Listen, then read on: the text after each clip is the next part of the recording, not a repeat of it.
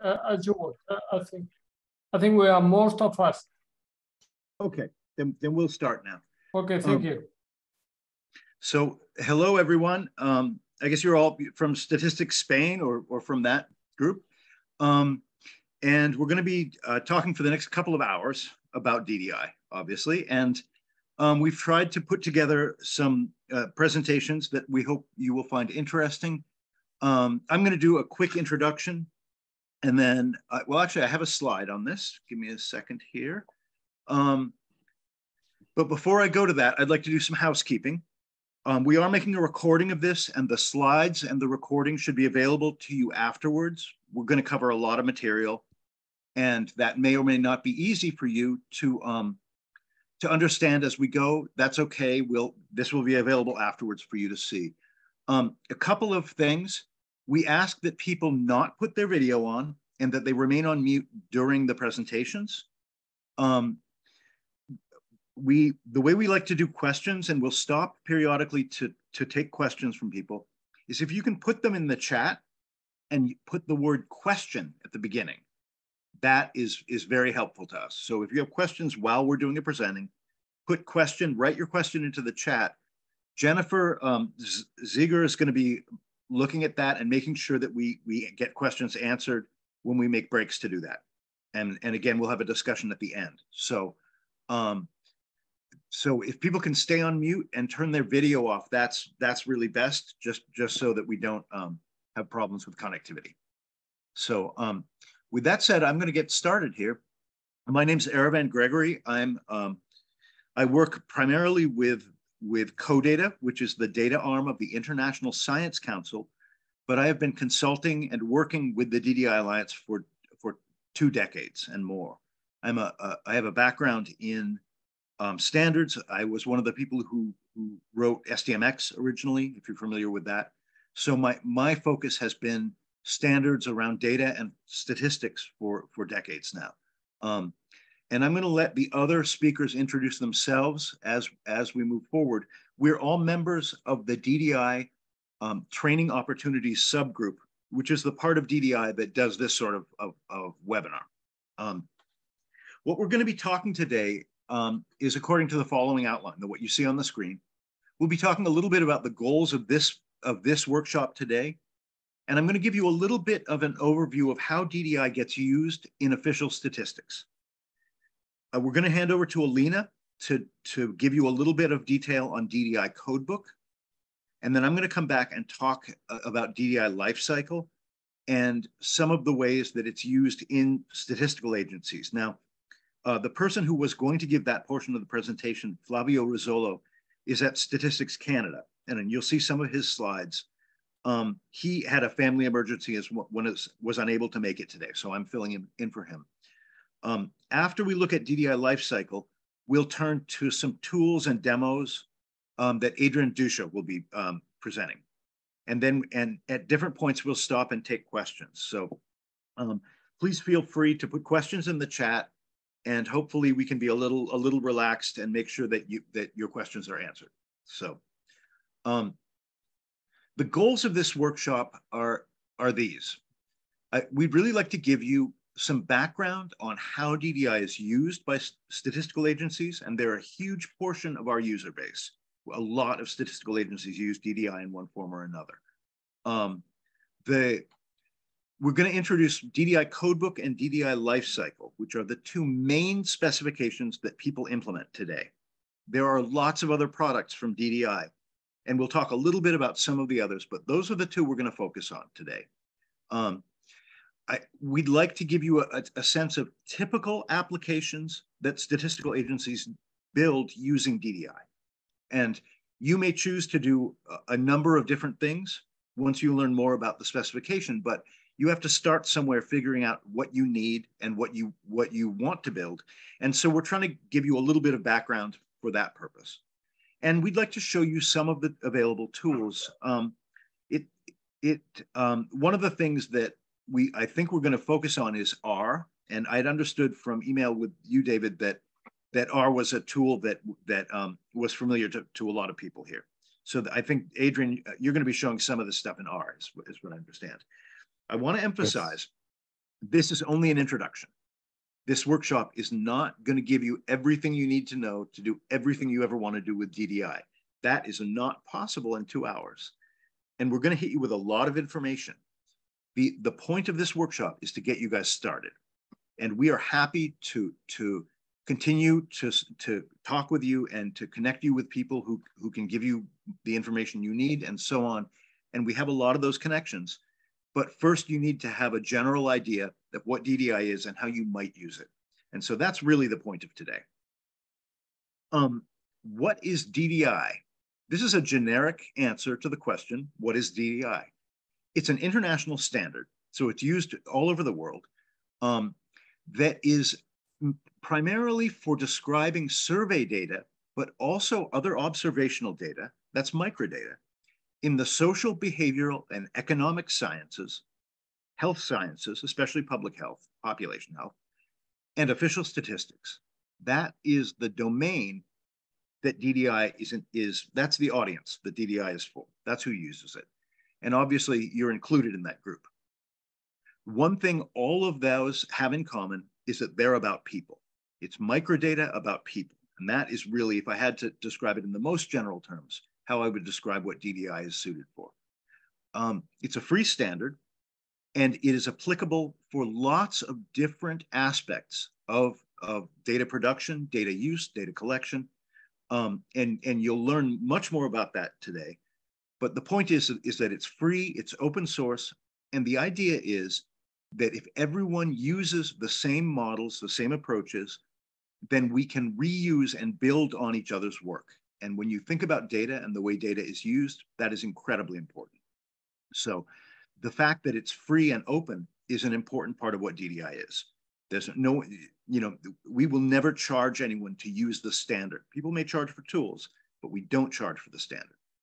Um, the idea is that there can be a community of people who can share resources and ideas and software and make interoperable networks and all of those things based on a shared understanding and interpretation of, of the description of their data. And that's aimed at people and it's aimed at computers. And that the idea that DDI is computer actionable and computer readable is very important. It's not only for documenting things for people. Um, if I want to answer that question a different way, I could say it's a metadata standard, and there's lots of those out there. But what DDI provides is a structure for describing research and statistical data and a lot of the information related to it and a way of bringing that information together. It's an open standard for data sharing and understanding and data reuse. And in the research world, people collect data for their own use first and, and then it gets reused by other people. In the statistical world, the business is data production for use you don't think about reuse, but that's the term that you hear in the DDI world for that because of the research orientation. Um, it's a mechanism for creating consistent machine actionable documentation for data. And when we say machine actionable documentation, that is basically the same thing as metadata. So those are those are those words mean the same thing. Um, DDI allows for the creation and use of metadata in a consistent way. And when we all approach metadata using the same models and the same standard, we get a degree of consistency that contributes directly to data quality. And I'll come back to that point. But having consistency in the creation and use of metadata is a very valuable thing for people. It's an XML standard primarily. We do support other technology uh, syntax expressions. RDF is becoming very common. People work in things like Python and R and, and JavaScript and on and on, JSON. And we support those, but primarily XML is what people have implemented DDI in. And that is still by far the biggest, um, the biggest user base, if you will, from a technical perspective. XML um, supports tagging text, tagging the metadata, according to its meaning, not according to how it will be formatted. There are other ways of formatting XML for presentation to people. And that's the approach that we use. And I think Alina will get a little bit into some examples of that um, when, you, when she talks about Codebook. But we're not going to get too into the XML technology part of this today. um, we assume that people who need to have worked with and understand XML. Um, XML is nice because people can read it as well as machines, so that at least up to a point. Um, one very important aspect of DDI is that it draws a, a very clear line between information about data and the data itself. And I think within official statistics, people understand that division pretty well. Within the research community, that is not always true.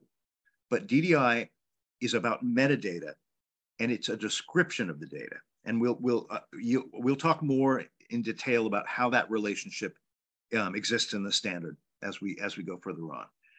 Um, currently, there are two major production standards in DDI, DDI Codebook and DDI Lifecycle. Codebook is a lightweight version of the standard that is simpler to use, but does um, supports fewer of the things that you may want to do with your metadata. It's really uh, uh, looking at an existing data set, one wave of data collection, documented in a way that someone could take as a, a code book, it's called in the research world, that or a data dictionary might be another familiar phrase. So it's it's a document in XML about a single wave of data collection.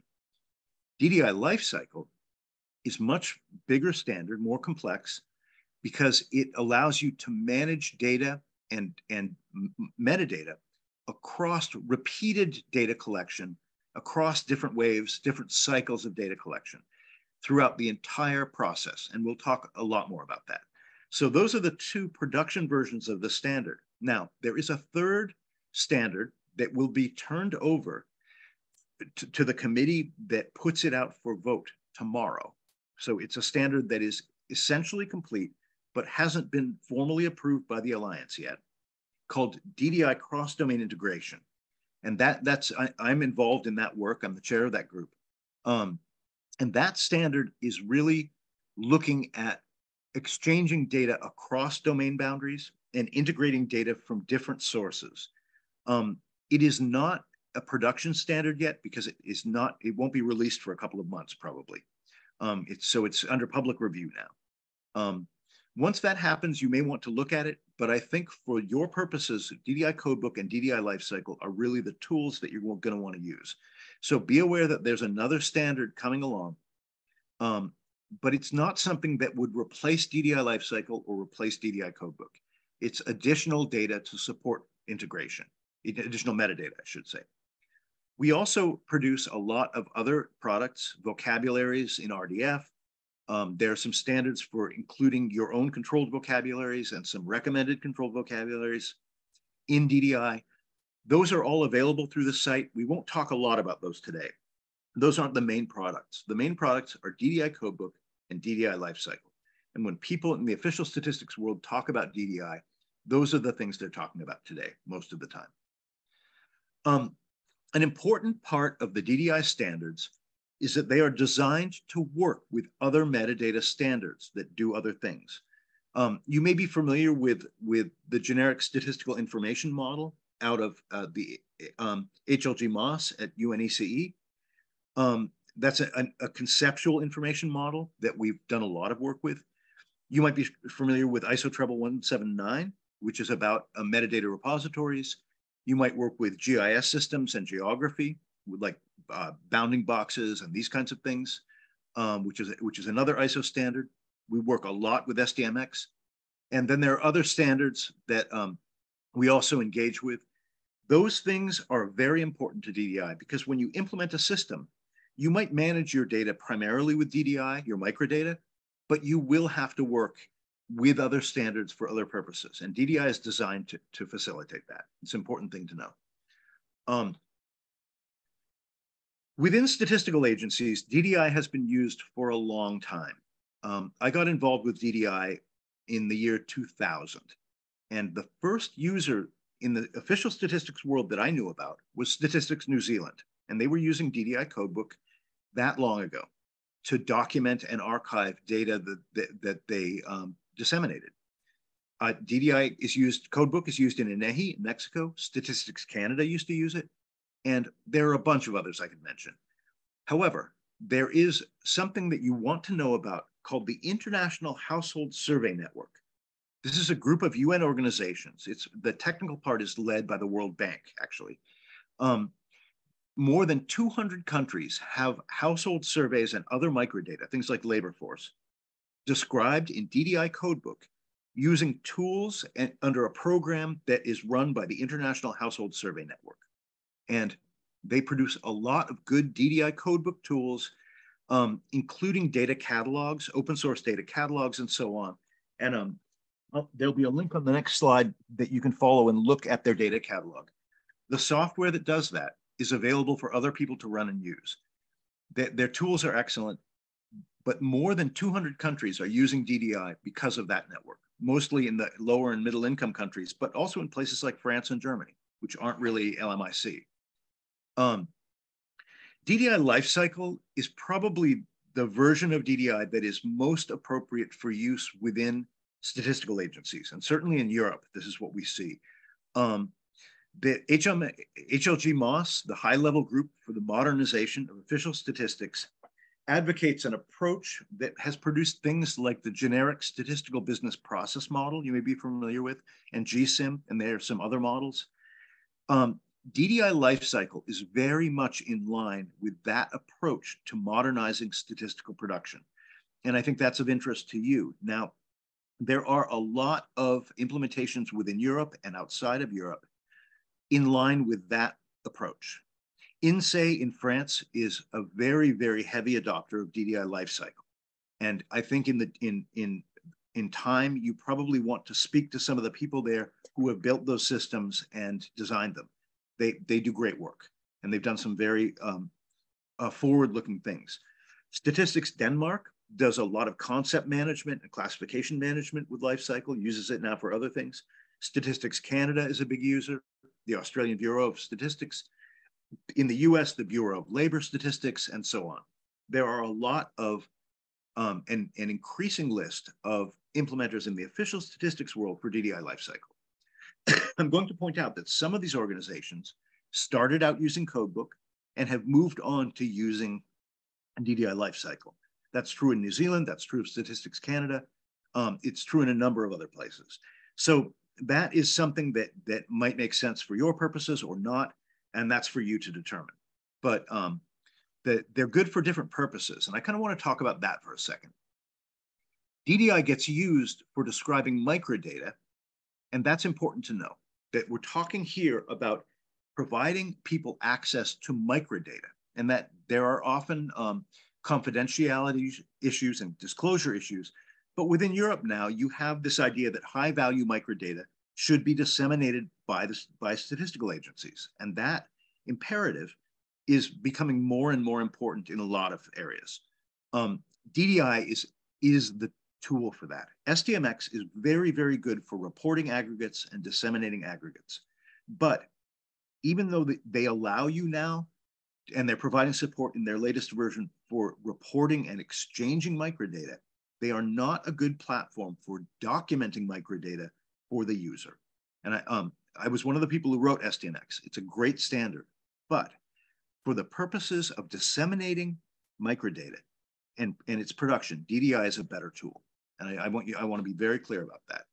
Um, with Codebook, DDI Codebook, the biggest use in national statistical organizations and institutions is dissemination with Codebook. That is, if you're going to use Codebook, it's really for cataloging available data sets and describing them for end users. So they can take the microdata, they know what it is, they know how to work with it, and they're they are able to uh, to operate on it using tools. And Adrian will show you a little bit of that. But Alina's going to talk in detail about um, DDI Codebook. DDI Lifecycle can also support those functions, but that's not its primary use.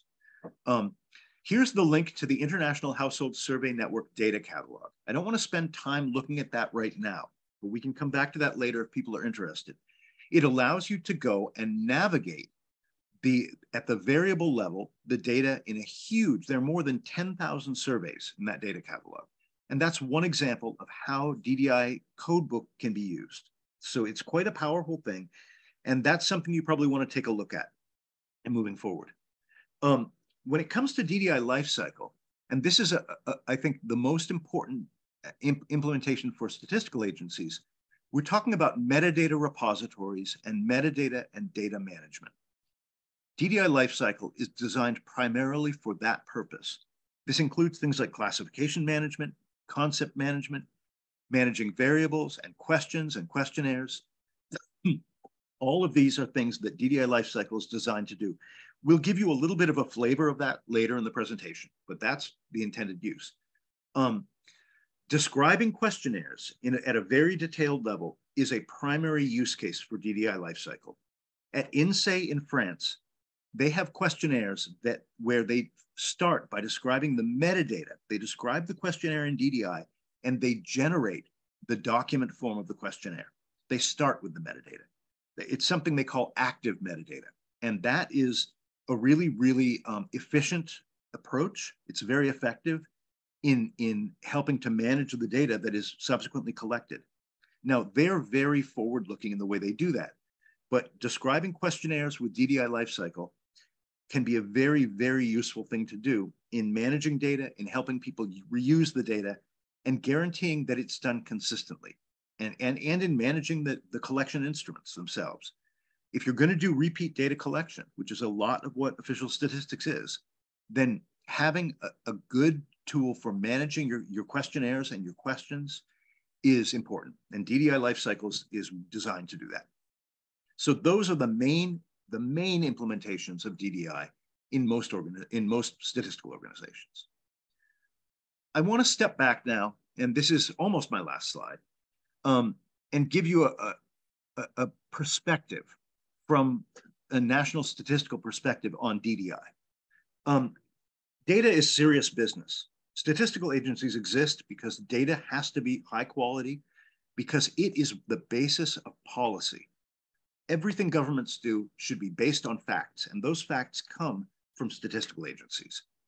If you're serious about data, you have to be serious about metadata because metadata is the information that you can use to guarantee that your data is the highest quality, to maintain its consistency, and to make sure that it is as good as it can possibly be. And without that metadata, you cannot manage the data well. Um, what DDI gives you is a proven metadata model, a proven metadata format for implementing systems in terms of its conceptual approaches, its implementation approaches, software tools. There's a big community around DDI that can help you understand and better work with your own systems and build your own systems. DDI is not just a technical specification. It's also the community built around that. And so I always like to say that um, if you're serious about metadata, DDI even though it's not simple, it, there's an investment up front, there's a learning curve, but the investment has a huge pay, payoff in the end and because of all of those things. So if you're serious about data and about metadata, DDI is something you need to look at. And, and I think a lot of people uh, uh, would agree with that statement. At the end of the day, better data management means better data quality.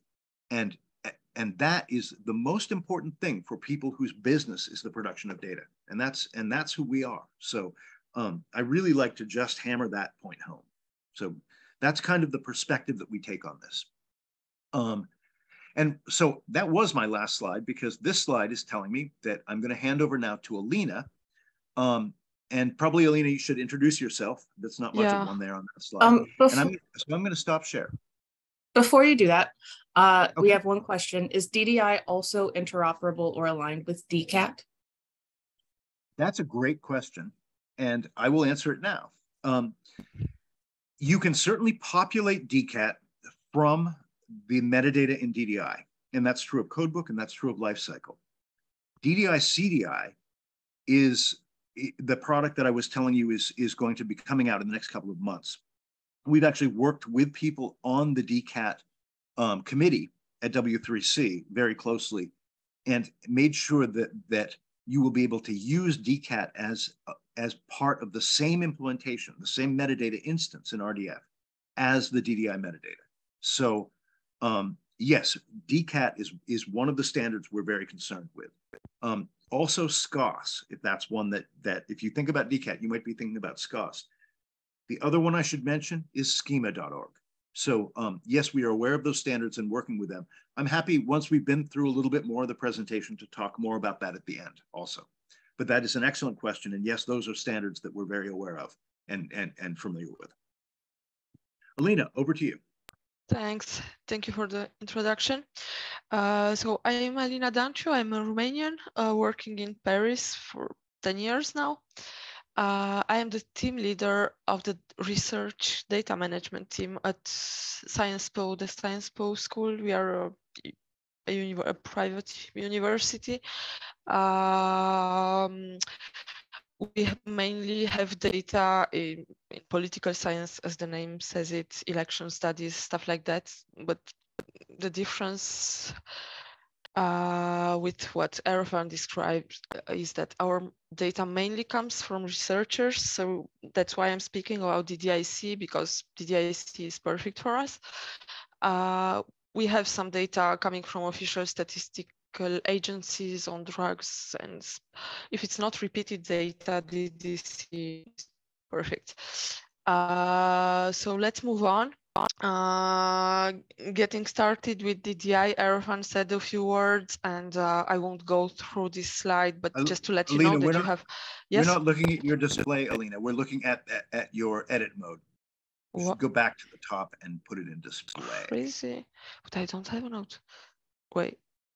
Show yeah. it in edit mode and hit the display button. If you if you show all. Yeah. Is it working now? I um, give us a second. No, can you hit the display button? Yeah, on, on yeah. In PowerPoint I am. see if that does it. I think it's yeah. I must have. It's okay now.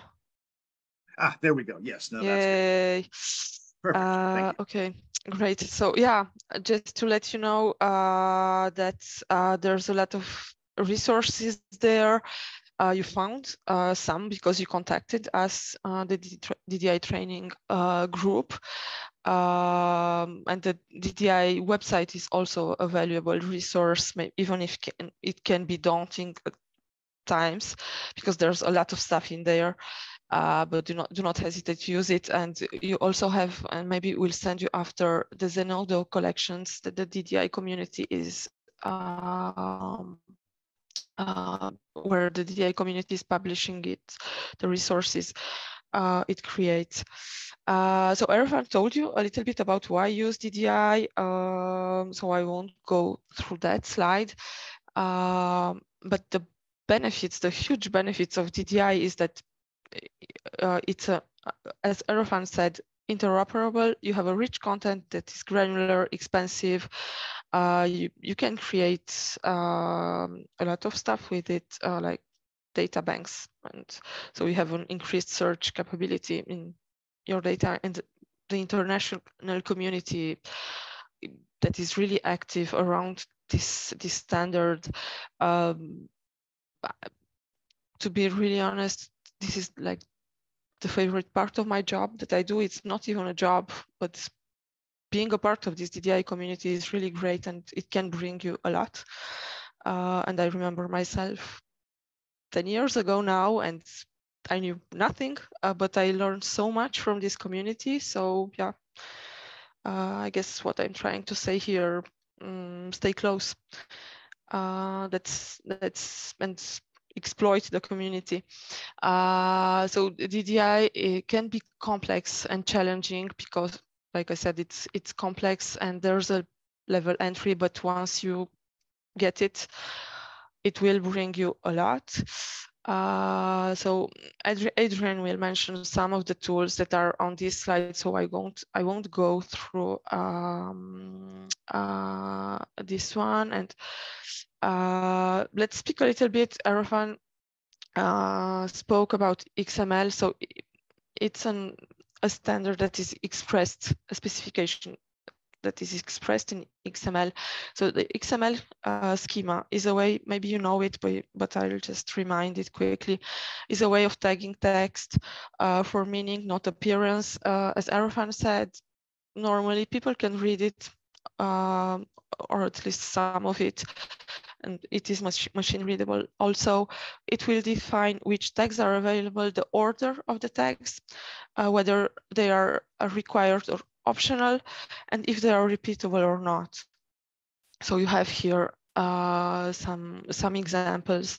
Uh, you can read some of the stuff, uh, but this is just to let you know and to, to make you aware that you'll need a tool. You won't have the time or the interest to, to write uh, XML DDI, XML DDI like that, even if you're a super, you have, even if you have a super passion about this.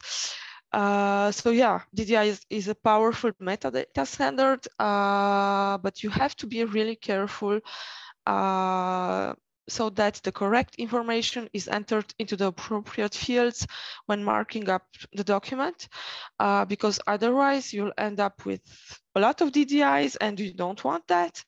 Uh, for example, uh, what um, like four years ago, we realized that we have um, for the, the, the producer or the authors, I, I, I cannot remember. We were using different fields and that's not good. Um, so we had to harmonize that. So yeah, it's important to define from the start what you want to, um, to enter and where. Uh, the DDI products, uh, I won't, um, I, I, can maybe remind them quickly, uh, but um, I'm focusing, I'm focusing on the DDI codebook. Uh, you'll have a presentation after from Arofan on DDI lifecycle. And uh, there's a lot of stuff there about DDI, CDI that will be published um, soon. So I'm really sorry my neighbors are moving in, so they are having some noise doing making some noise right now so sorry about that uh, so yeah uh, DDI codebook we will have this Lego example uh, you have on your left a lost metadata manager in um, the middle of a lot of not structured metadata and uh, on your right metadata structured by DDI codebook, by the DDI codebook uh, standard. Uh, so DDI codebook is a structure that we will facilitate the production of machine-readable codebooks. Uh, Arofan mentioned this, and data dictionaries. It is built to emulate a physical codebook, uh, to catalog a data set, to describe a single study, not a repeated study. It's not ideal for that, or a single round or wave in a repeated study. Uh, the latest published version uh, is 2.5, but there is 2.6 out there uh, also. Um, a DDI codebook uh, is pretty straightforward.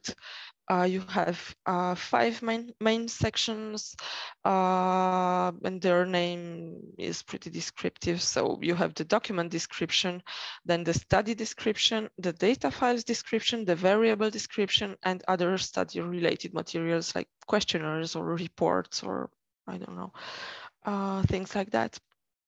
Uh, so let's, uh, I think you'll speak a little bit about this, about the study, but let me just go th quickly through this.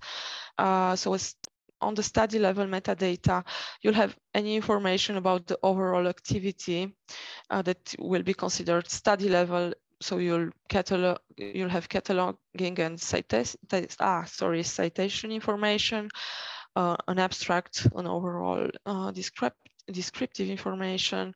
Uh, you'll have information about funding, uh, grants uh, about the um, organization, uh, all the methodological information, um, I don't know, about sampling, weights, uh, the purpose, the scope, the coverage.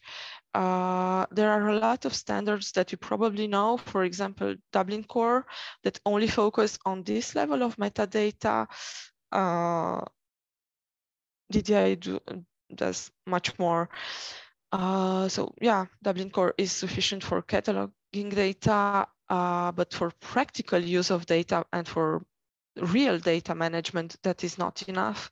Uh, so DDI will include both cataloging metadata and the information needed for data use. Uh, as I mentioned before, studies uh, will include links to um, uh, to the related materials uh, that are already mentioned, questionnaires, things like that. Uh, I could show you after the presentation. Uh, we have, um, but this is very research uh, data uh, related. Uh, we have a repository that is called Dataverse. You'll see, um, and I'm I'm really not happy about that. In even if we document, if we the data managers document the variable level metadata because DDI allows us to do it, um, this platform won't show us uh, this information. So yeah, it's something we are not happy about, but please know that yeah, DDI allows you to document and to display uh, with appropriate tools the variable level metadata. Um, I put some examples there um, yeah, the literal question, the universe, the interviewer instruction, the notes, uh, where you can, I don't know, you can put information there about um, how you, you recoded the variables and the syntax that you used or stuff like that. Uh, so in a nutshell, in a few words, uh, DDIC will be an XML description of a classical codebook the classical codebook used by researchers. That is a data dictionary, and I suppose you all know, and you've seen already seen that. Uh, it uh, allows you to manage rectangular files. Uh, the concept of metadata reuse is not is not something that you will um, uh, do on a large scale uh, with uh, DDIC, even if it is possible. Uh, but yeah, in practice, we notice that um, it's not done so much with DDIC, but Adrian will show you how uh, you can do it and uh, you should have that in mind. Uh, that it is possible, even if, yeah, I put in there no concept of metadata reuse. In practice, it's let's say not that easy. It depends for who. Uh, it is based on models in existing data anal analysis tools that you know, uh, Stata, SPSS, SAS. It includes Dublin Core and descriptive study level metadata. Uh, it is machine readable, slightly machine actionable, uh, intended to describe data for a single study, one point in time, once the study has been uh, designed and fielded. Uh, Arofan mentioned the example of my French colleagues at the INSEE that are now uh, designing their uh, surveys using DDI-L. Well, DDI-C is not designed for that. Uh, so it's yeah, an after the fact description to support archiving and reuse. And uh, it does that wonderfully. Um, and we are very happy about that. And our researchers are happy about that. Uh, so maybe I, I can show, Adrian will show you uh, some tools and um, yeah, if you're interested, I can also show you uh, what we have done with it at uh, at Sciences Po. It works great for us, so I think that's the, the message you want to hear. Uh, and I'll pass, I think I finished, uh, yeah, the credits. Uh, please do not hesitate if you have questions and otherwise uh, I'll give the word to Adrian. No, you I think it's to Arofan. Yep. Not Adrian yet.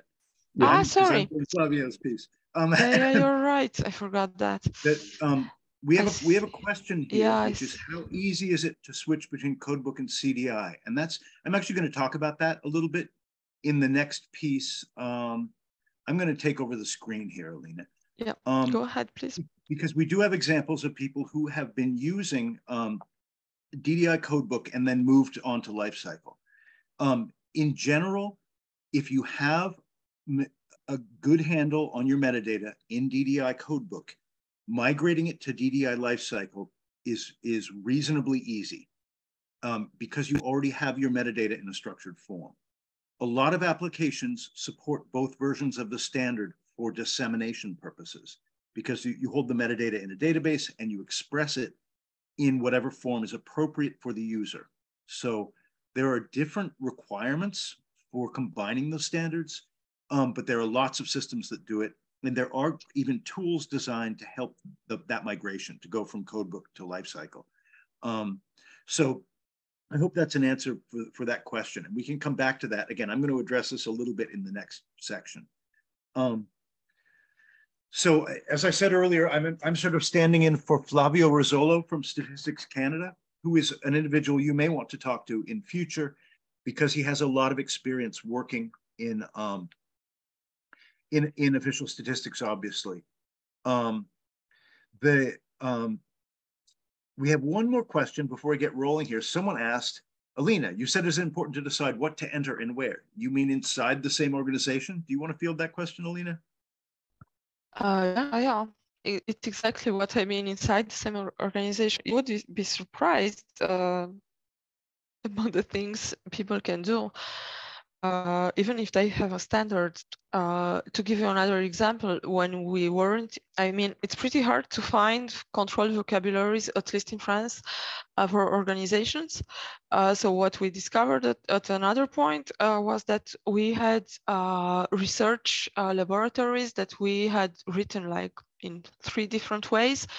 And DDI was, the tool was, yeah, it's a tool. So we had three different organizations and it was the same one. So uh, it should be aligned inside the same organization and ideally among. I mean, yeah, if I there is there is a statistical agency that I worked with, Alina, and they did an analysis of how many non-similar versions of the ISO country code list they had used in their data yeah. over over the years, and there mm-hmm. were more than 10,000 variations of the same quote standard code list. So I, I, I, would That's like to emphasize I'm speaking about. Absolutely. It's it's you do need to be disciplined about how you deal with the content of your metadata. And there are actually pretty good um, references to help you with that. And we, I, we can point you to some of those. But um, Alina, I think that that point is, is very right on. Is you actually have to uh, be concerned with the content as well as just the technology tools and the software tools. Um, with that question, I'd like to move on and talk a little bit more about DDI lifecycle and metadata reuse. And I said at the beginning that um, DDI Codebook is a very good tool for data dissemination and for, for supporting researchers in using the microdata that you are providing to them. Um, but if you want to use your metadata to help drive production, cyclical production of statistics, then DDI Lifecycle is a much better tool. Um, so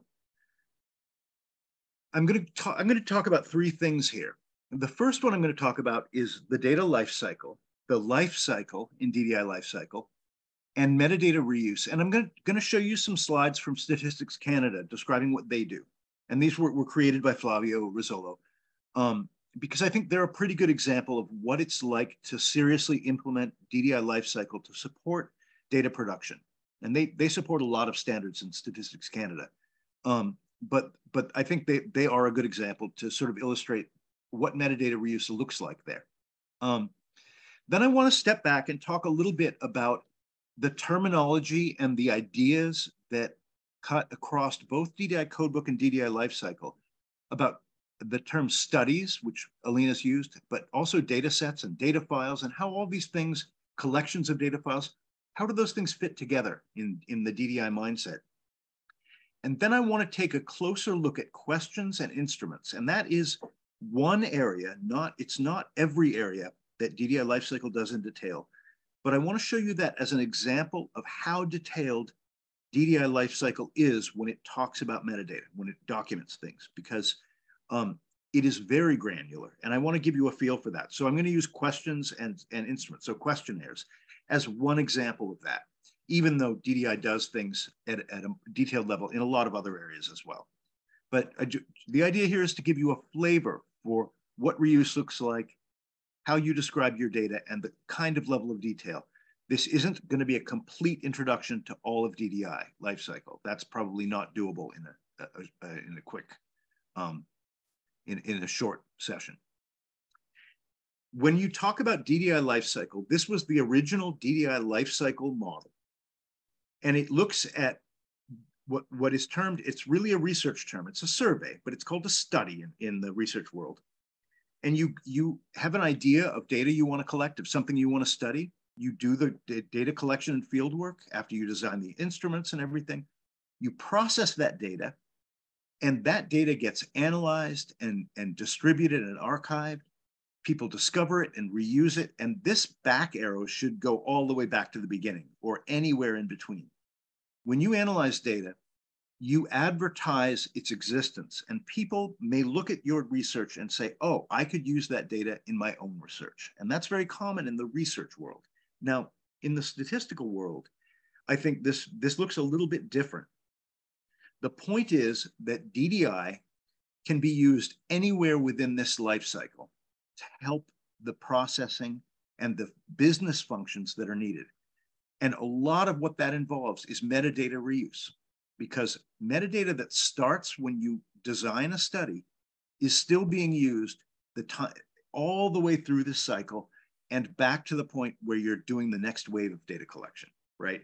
So um, you may be familiar with the, the generic statistical business process model, which looks like this. Um, and this comes from the high level group on the modern modernization of official statistics. I think it's in version five something now. It's been through many versions. And it has these high level functions and then lots of sub steps. And what I want to show you is what Statistics Canada has done because they use the GSBPM as a reference model for describing their own processes. And they have, they're using DDI lifecycle tools, a couple of them.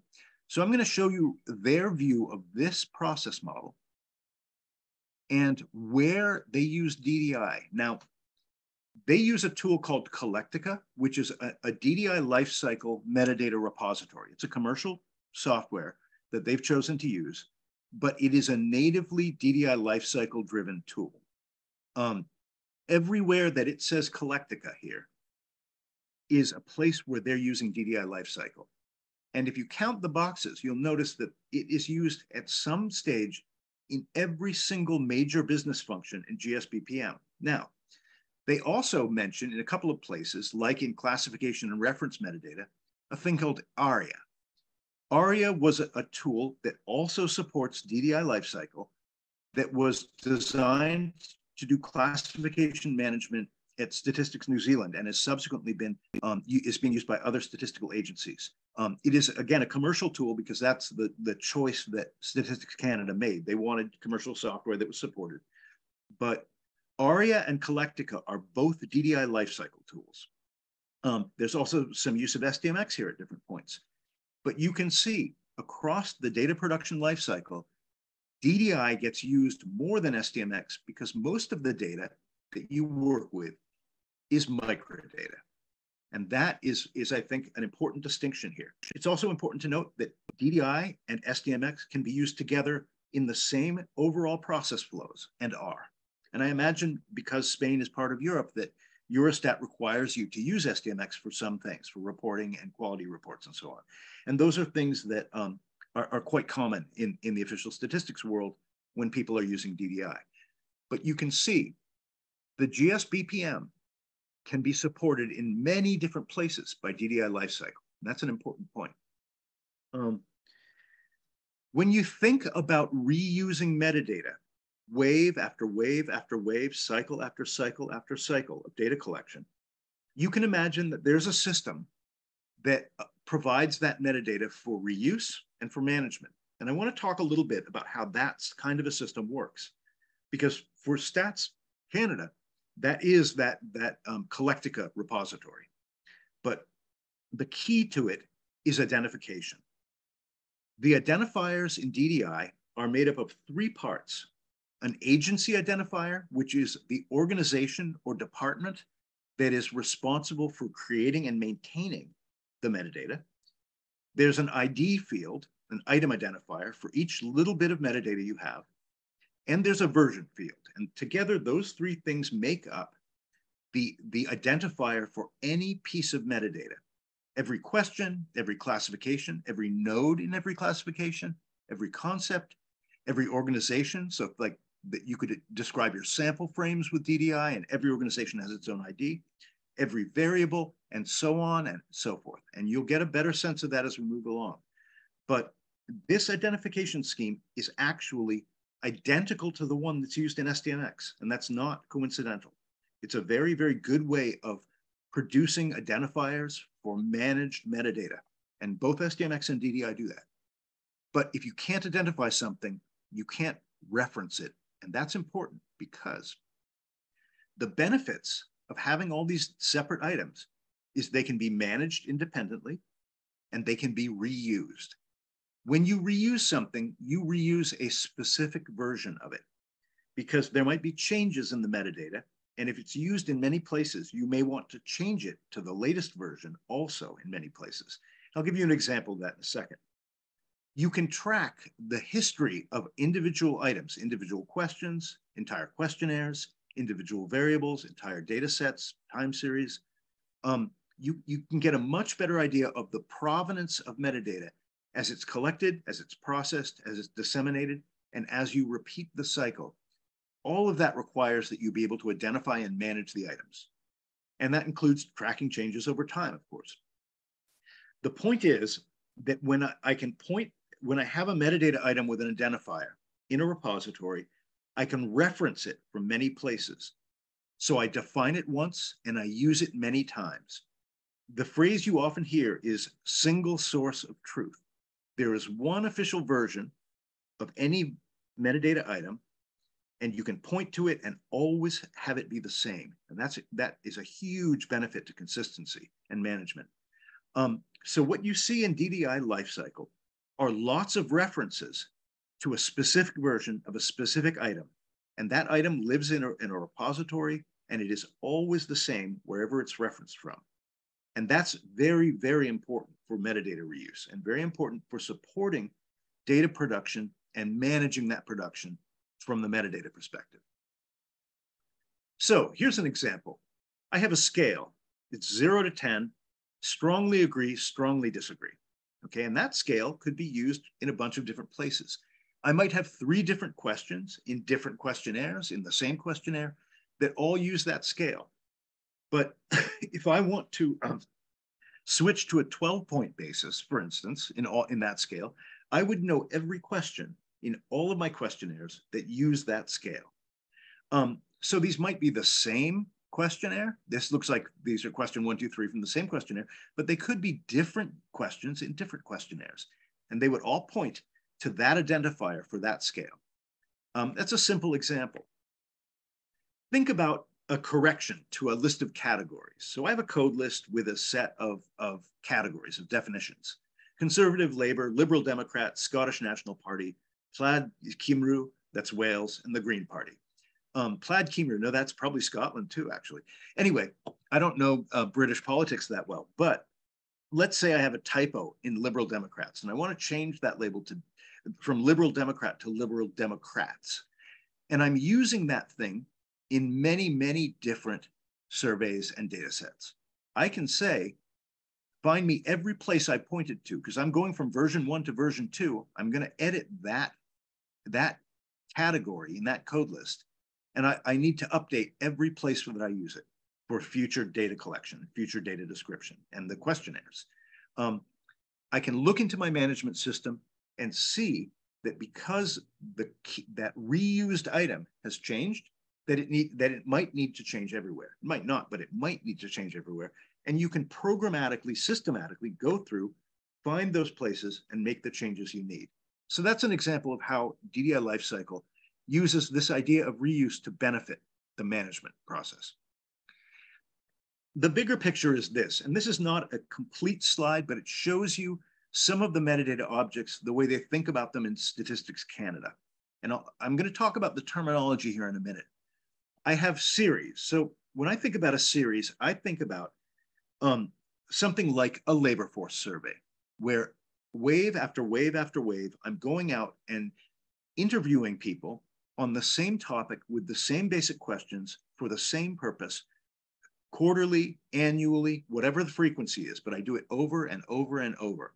Those series are made up of individual waves, individual cycles of data collection, and the term that gets used for that is study unit. They produce data files for variables that use code lists that are informed by the definitions and categories. The questions use those code lists in my questionnaire, which is my survey instrument. All of these things and a lot more are managed separately with these references, the arrows you see in this kind of diagram. Um, and that's how DDI lifecycle looks at the world. And that's how it's used to support the, the overall production process. Because each of these things can come into existence and be used at different points in that life cycle. But if you have a picture of how they're connected and what is used where, then you can manage the entire process better. And so that is, I think, an important idea the terms are not really official statistics terminology. Um, and I'll come to that in a second.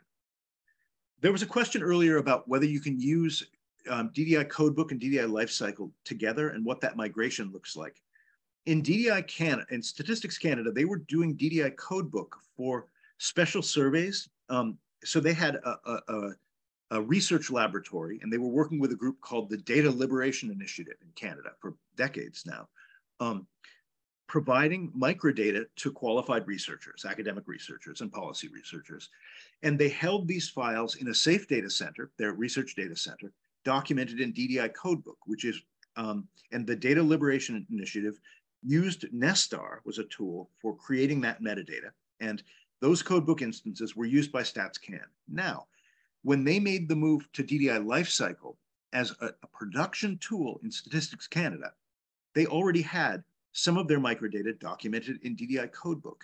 And so they used a thing called rich data services and, uh, and the, the Colectica repository that I've told you about already. And between, so rich data services gave them tools for identifying the, the metadata in their codebook and identifying the reuse so that they could migrate from the codebook description independent waves of each series, each, each um, survey, and combine those into a Colectica style reuse where the code lists that were repeated wave after wave in codebook were um, produced once in Colectica and referenced from all the different studies. So they use this combination of tools to do that migration, but this is a fairly common scenario. Um, and that's and, and this is the sort of scenario that some statistical agencies have gone through. But it's an example of, of how this sort of migration um, can be done. And again, there are people who you could talk to um, about what that looks like if it becomes important to you. This is their overall architecture. Um, they have this, what they call a metadata hub with APIs for different tools and, and repositories. Statistics Canada is a very large, very distributed organization, the way most national statistical organizations are. And so they have within that hub different APIs to talk to different systems. And I don't even know what these acronyms mean because this is Flavio's slide, but they have lots of clients that use the metadata in their metadata hub. Now, they also have a lot of tools and repositories that are the back office of that hub, Colectica, ARIA, there's some SDMX tools, they, they use the eStat ones, et cetera. And so that set of tools speaks using this, a limited set of standards, DDI lifecycle and SDMX primarily, we're talking to the metadata hub. And that metadata hub is a service center within the organization um, to support all of the metadata used within Statistics Canada. This is the kind of architecture that you see in most organizations that use DDI lifecycle to drive production. So they have lots of different groups of users working through different APIs to some sort of central catalog supported by the applications that are the repositories for managing their data and managing their, their metadata. And so down here at the bottom, their lifecycle management is based on Colectica and ARIA and some SDMX tools. Their metadata hub, their catalog, their central repository that users interact with is a view of that appropriate to the different user groups and applications. And some are machines and some are people. So I think you get the idea here. So people have a much better idea of where their data is coming from, how the metadata is evolving, all of the information they need through whatever UI they're comfortable using. Now, you have to be careful. You don't want to have to support too many client applications through the hub, but that's just a technology management challenge, similar to many other things. And they do provide in that hub a lot of mapping to other standards. And you see here DCAT, um, DQV, you see XKOS and SKOS, et cetera, et cetera, PROV, lots of different flavors of the same metadata, but it's being managed in DDI lifecycle, SDMX. That's sort of the key to this slide. Um, I'm going to shift gears here now, and this is where I'm going to talk a little bit about terminology. I'm going to talk about the study, and this is really a reminder of something Alina already mentioned. I'm going to talk a bit about data sets, data files, and metadata instances, and the differences between codebook and lifecycle.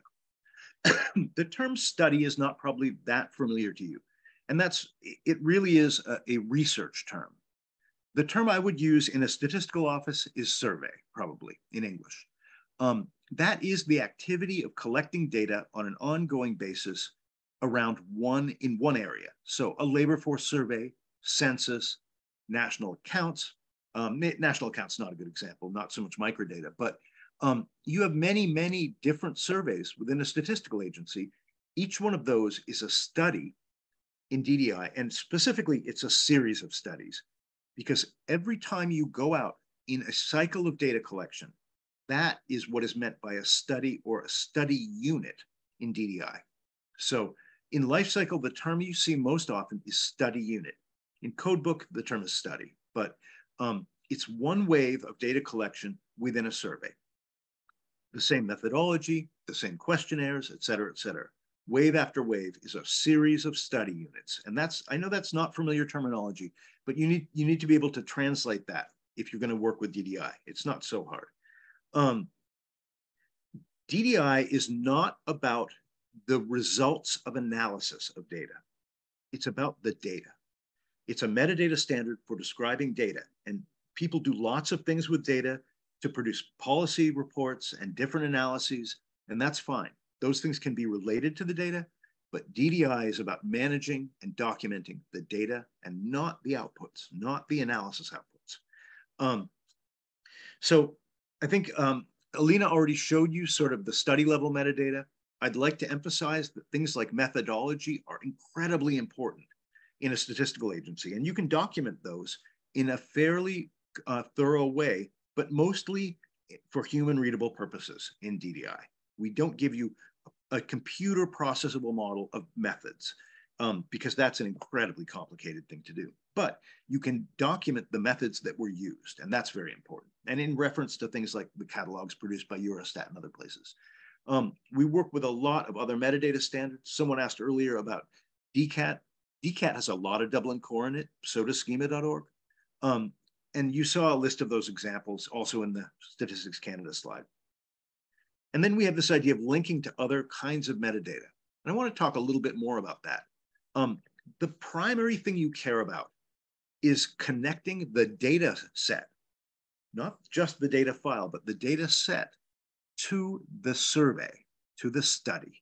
And so very often you have metadata about the study and it, it talks about, it contains the metadata for a number of different data sets, one or more data sets. And those data sets may be one or more data files. The data set is a logical construction. The data file is a storage mechanism. That's a very important distinction in DDI. So we have a study description that talks about all of the data. You have data sets that correspond to, to the data sets. And then you have the data files that contain the data for those data sets. And they may be one for one, but they might not be one for one. And that distinction is important in the metadata. The data is just lives where it lives. Um, so your study defines the high level information, and then you might have data sets for, say, a hierarchical data set that has households and persons or businesses and persons.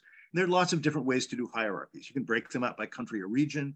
Um, however you do that is fine. DDI doesn't dictate a particular kind of, of breakdown, but they let you describe the way you've organized your data in different data sets with different relationships. And that's important to know. The study covers everything. Your data sets are the logical distinctions in your data, hierarchical or not, and then your data files are physical. so Um, I think I've already said what's on this slide. The packaging, organization, and encoding of data is at the file level. The logical contents of data are at the data set level. Um, and the information that's related to everything in the data set can be stored at that level, or you can talk about things that are specific to data files. Um, here's an example of a rectangular file. It's a very stupid example because you would never put the person's name in as their ID, but um, here I have a bunch of cases, Marie, Henry, et cetera, et cetera, et cetera. And for each one of those respondents, I've recorded a set of variables, sex, when they were born, when they died, the reference area, the longevity, et cetera, et cetera. And these are all different variables. And so this is the typical view of data that you see for any kind of person level information. Now, there's a lot of other data out there, administrative data and so on, but DDI is focused primarily on this rectangular data.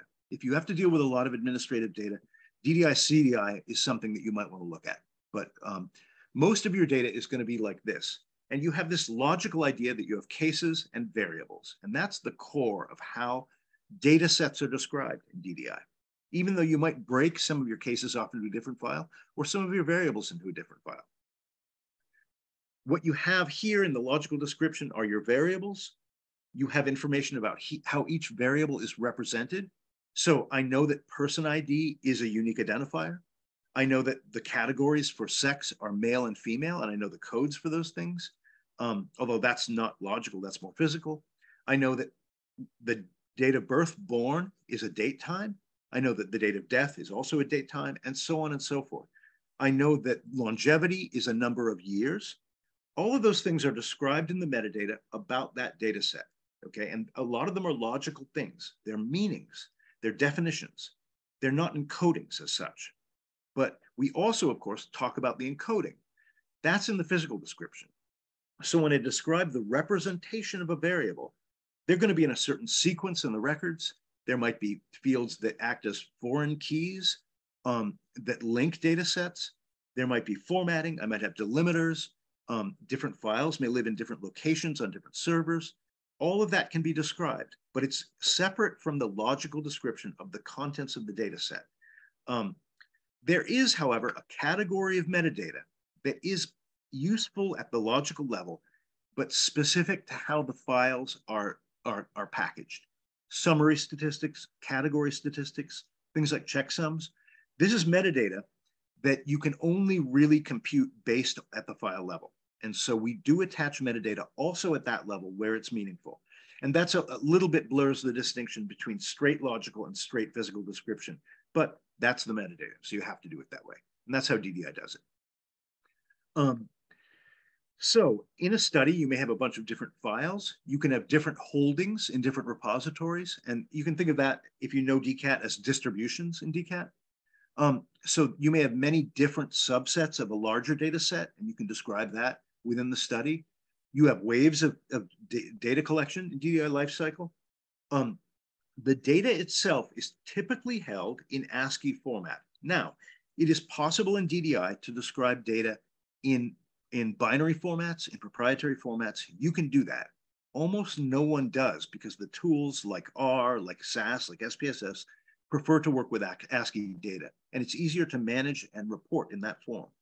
But the data files tend to be delimited or fixed with ASCII files.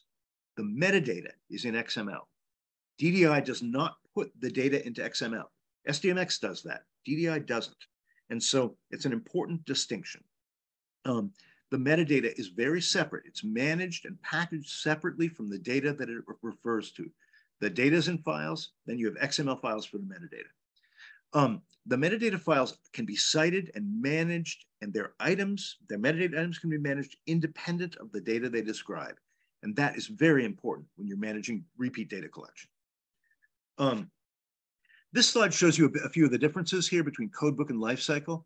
And most of this we've probably already mentioned. DDI codebook, you can describe things after the fact for one wave of data collection. And you can describe aspects of the questionnaire that was used. You can include a PDF of a print questionnaire, for instance. Um, however, it doesn't give you a machine actionable way to drive data collection in the way that DDI lifecycle does. And that's the big distinction here. DDI lifecycle is for doing the data collection and production. DDI codebook is for describing what has been collected afterwards. And that's why DDI codebook is a good cataloging and dissemination format, where lifecycle is a good production tool. And that's the major difference here. I'm going to step uh, change gears again and talk a little bit about instruments. I want to see there's a question here. Um, and, and that question is about code lists, and that's a very good question. What we do in DDI codebook is you describe the code list when you describe the variable that uses it.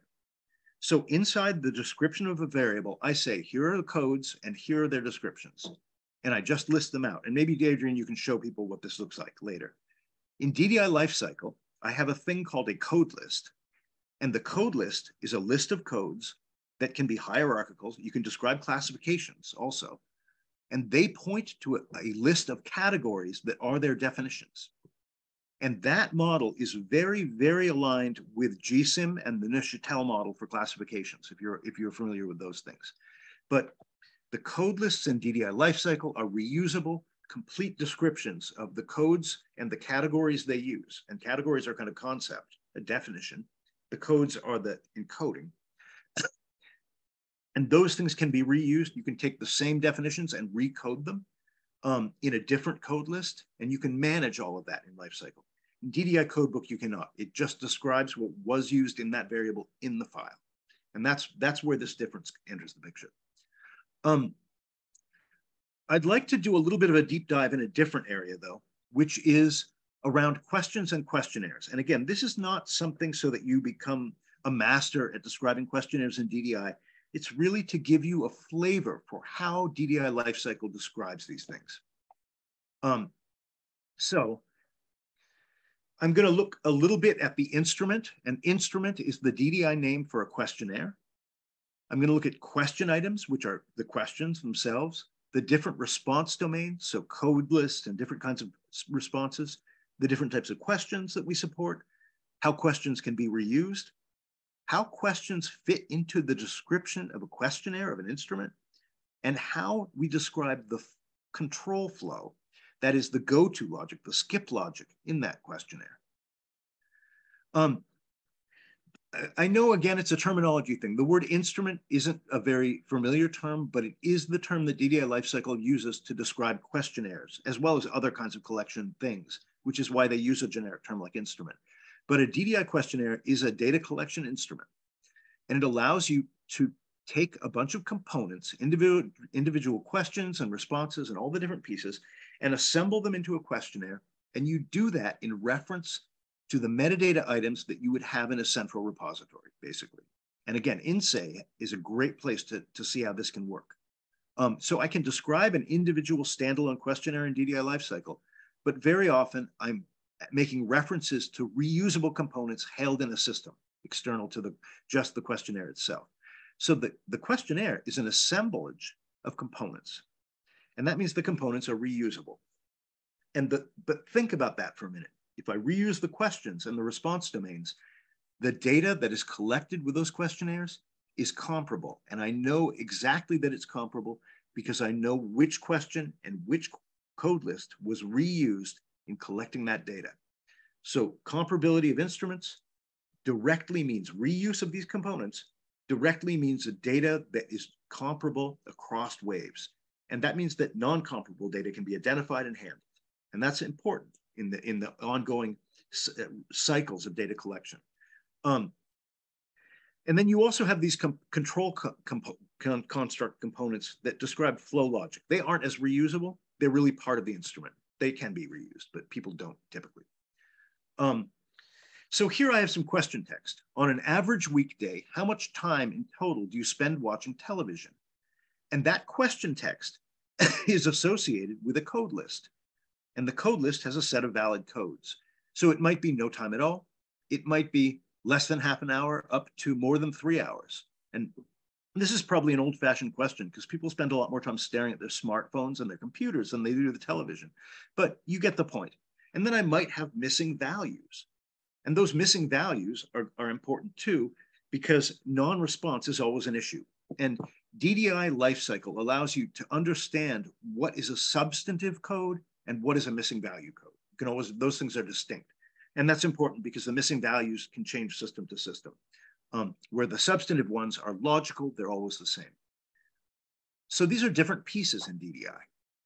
Um, I have a lot of different kinds of response domains. I have code lists, which are codes related to a set of categories that define them. I can have scales. I can have numeric responses of all kinds of different types. I can have textual responses, and I can say things about the length of the text and the, the range of the text and so on. Um, lots of different uh, uh, facets of the text. Similar to what's in XML schema, if you're familiar with that, or Java. I can have date times. Typically, people use ISO date stamps, but you don't have to use ISO.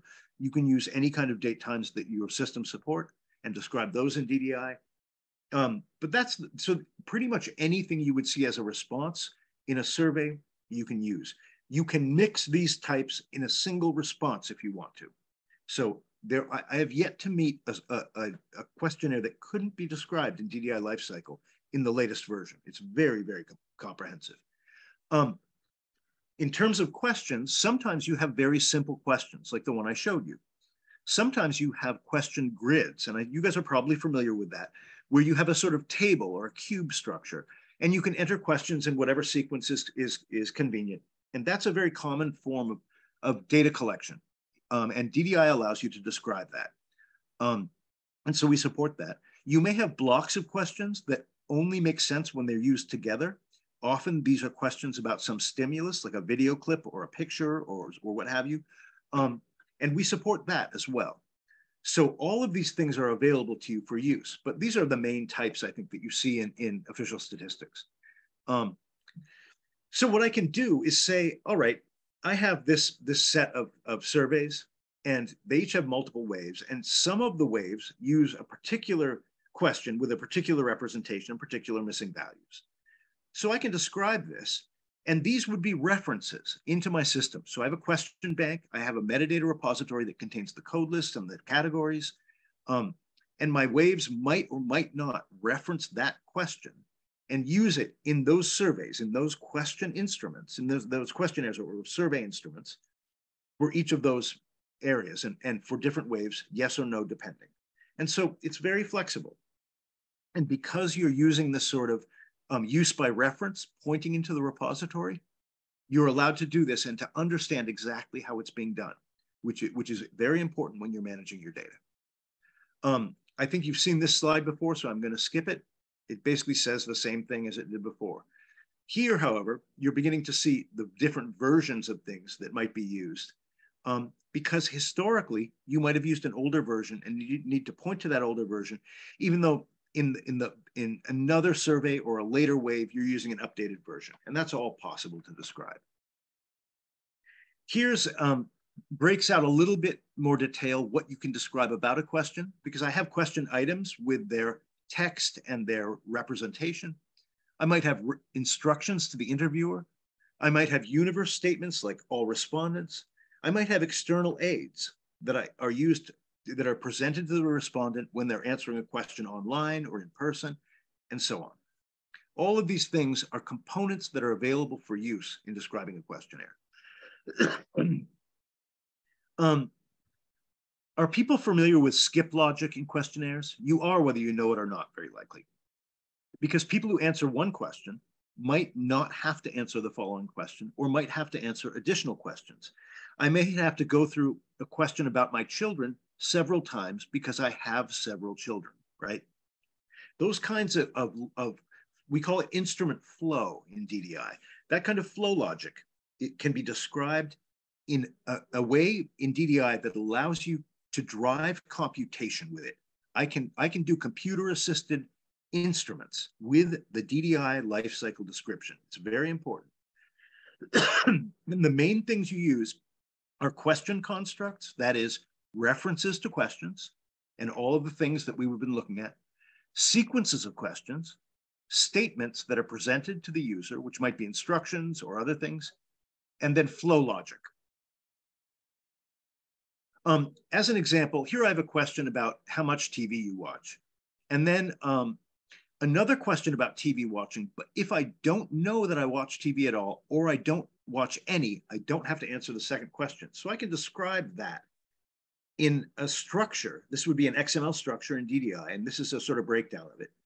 Um, but there would be this construct that says if the condition, if A1, this question has an answer of one to seven, ask A2. If it's zero, zero, go to A, A3. And I can describe that in this flow logic as part of my questionnaire. And I could feed that into a computer assisted system that administers the questionnaire for the respondent, for the interviewer, depending on what kind of system it is. You can describe this computational logic in DDI lifecycle. Very important. And the way I do that is I have statement items, and these are sort of statements in the instrument. I have the, the points where questions are presented and used. I have if then else logic, so conditional logic that says if they meet this condition, then do this, otherwise do something else. I can loop, like for enough people's children. I can repeat until, I can repeat while. If you're a programmer, you're probably familiar with these kind of constructs, and that is intentional. This logic is, is the same logic that computer programs execute when they administer questionnaires and when they do pretty much anything else. So that is um, what DDI lifecycle gives you. Okay, that's an awful lot of information. So I'm going to give you a bit of a summary. I have here a question. What am I really looking at? I have a number and a name, the name for the instrument, so question A1, and an identification in DDI. I have some question text. I know what that is. I have that captured. Then I have a response domain. In this case, it's a coded response that has categories and codes, some missing values, some substantive values. I have some instrument flow and some instructions. So I'm going to show you a card, and that card is going to help you answer. And you look at card one, and that would be, you know, some sort of external, uh, like a PDF file of the card. Um, and then I have the skip logic I was talking about. I have my code list and my categories and my code values, and all of that is in my repository where I can reuse it. That includes a different list with the missing values that also might be reused. So I have all of these different pieces going on, and I describe each of these ind individually, bring them together, and compose an instrument out of these pieces. And that description is absolutely computable and can be presented in a human usable way as a questionnaire or as a PDF for dissemination or data collection purposes. And that's how it, what it looks like. Um, I'm going to stop with that again, that was just an example of the level of detail that DDI lifecycle goes into. I want to talk about some of the resources because you probably understand that there is a lot here and a lot to learn. Um, you probably know about the DDI website itself already, and that's uh, always a good resource. Because you're an official statistics organization, you probably want to follow the work at the high level group for the modernization of official statistics. Probably you already do, um, that's a link to their high level website. They have a lot of working groups, a lot of standards. Um, they are very worth getting involved with if you have the, the, um, the resources to do that. You meet a lot of very smart people who are very involved with DDI, SDMX, and a lot of other standards, GSBPM, GSIM, and so on. Great community. Um, there's a new conference that is going to be that is being organized at INSEE called Cosmos. And this is a metadata conference for official statistics. The first time that conference is going to be organized will be next spring in Paris. INSEE is the host organization. They have they are are only now starting to prepare the announcements. Um, but if you um, keep your eye out for Cosmos, I think that could be a very useful conference for you. And Paris isn't so far away. Um, the the annual conference that is I think my favorite DDI conference all year is the European DDI Users Conference. Um, this happens in, in early December every season. The next one will be in Ljubljana in Slovenia. Last year was in Paris. Alina was the host for that, and she's one of the organizers. Um, you get people from all different backgrounds coming together to present how they're using DDI and to talk about things. There are, I don't know, dozens of good sessions. They teach workshops. It's a great community and people are really open-minded and interested in learning from each other and talking. You meet a lot of the people involved in designing the specifications and so on, and the software implementers. So it's a it's a great um, conference if you if you have the ability to attend, and I would recommend that you do if you get into using DDI. The other thing that you really need to do if you haven't is to join the DDI user list. And if you follow that link, you can register for it. All of the updates about events and new publication and so on in the DDI Alliance um, will appear in notifications sent to that list. So you subscribe and you'll just get the emails as those announcements are made. And um, Jared Lyle, who is the executive uh, secretary of the DDI Alliance, he's the head of the secretariat, will po consistently post to that list. If you have questions, you can ask them on that list and you will get answers from the community. So it's a very, very good resource. Um, I just wanted to mention those. Um, before I turn over to Adrian, I'm going to take a look at the questions here. Oh, we have a post about Ljubljana. Um, okay, question about SIMS. Um, so Carmen, that's an interesting question. Now, um, Codebook, DDI Codebook, does not have a lot of overlap with SIMS, except that some of the, of the information that you will have in DDI Codebook at the study level will populate the fields in SIMS. Um, SIMS is, requires an SDMX uh, structure. Um, however, there are organizations, and Statistics Denmark is, is the one that, that I'm aware of that does this. They actually use DDI, although they're using DDI lifecycle, to populate SIMS, and they even built an interface for their version of the Colectica repository that has all their, their metadata in it. And so you can assemble a SIMS instance in SDMX based on the, their DDI repository. Um, so people, some of the metadata that you have at the study level, at the level about each wave of data collection, is exactly the information that you'll report using SIMS to Eurostat. So um, there, that is a connection where the, the formatting in XML is not the same, but the content um, doesn't correspond one for one, but a lot of the concepts are the same and can be um, moved from your, uh, your microdata metadata directly into a SIMS report for the purposes of reporting to, to Eurostat and dissemination of that information using SIMS. So that's a very good question. Um, I should stop and ask if we have any other questions. I think we don't at this point. Are we good? Um, oh, no, we do have more questions. I'm, I'm bad, on, bad on me. Um, there's one. Is DDI used to describe how microdata are physically stored, or is it thought better to, to use a, a logical representation of microdata? Okay, a lot of people use key, key value stores for their metadata. One of the organizations that is a heavy user of DDI Codebook and DDI Lifecycle is the UK Data Archive. It's hosted mostly out of the University of Essex in the UK. They work very closely with ONS for a lot of the of um, for some of the data that ONS produces. Also, they they house a lot of the long running studies um, that ONS also also bases their statistics on. Um, they under the covers they use a big data key value store for all of their data. However, when they present data for dissemination through their website, they provide DDI codebook document, documentation. And when they feed their processing systems, they package that data. You query the key value store, you get a rectangular data file, and that data file is documented in DDI lifecycle. Now, so their production use of DDI is in lifecycle.